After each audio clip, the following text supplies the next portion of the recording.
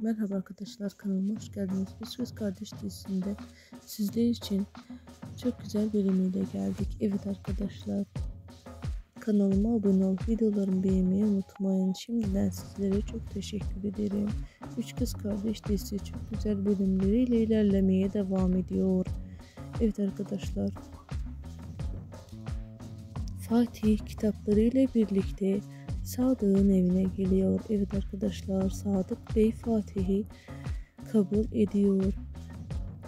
Evet arkadaşlar Mesut benim ailem bulun diyor. Evet arkadaşlar Mesut'un ailesi bulunacak mı?